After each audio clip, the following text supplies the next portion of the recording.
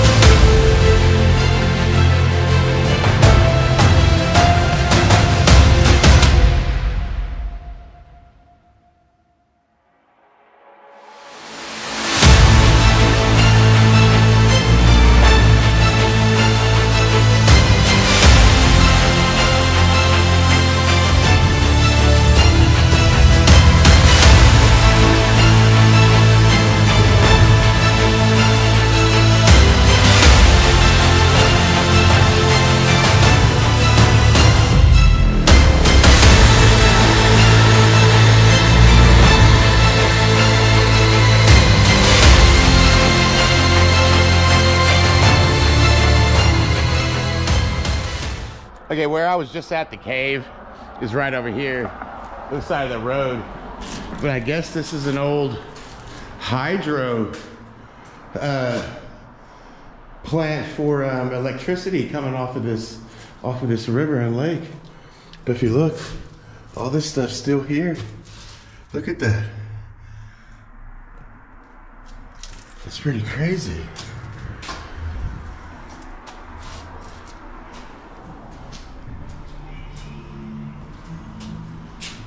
That. Wow.